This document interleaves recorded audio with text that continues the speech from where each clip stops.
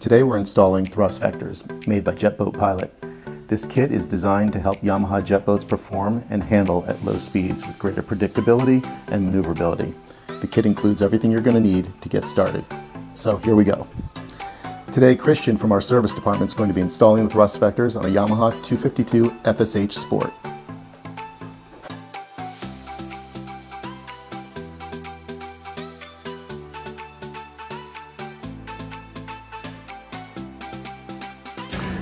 Something to point out with the thrust vectors is as you increase speed, they're designed to automatically tilt up and be out of the way.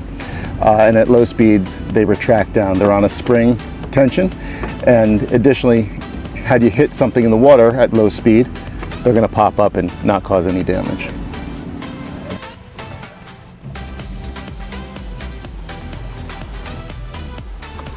So the thrust vectors are now installed and the boat is in the water. We're testing the thrust vectors to see how they perform.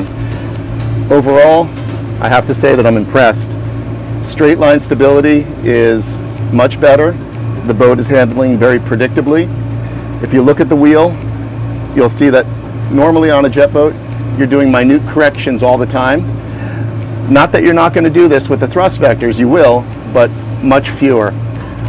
In addition, I'm getting feedback from the steering Typically with the jet, the jet is the only thing in the water. Yamahas have a keel, but adding the thrust vectors, you get an additional four stability points that are down in the water and the boat is tracking along with them. So overall, excellent product. Highly recommend them on any Yamaha jet boat.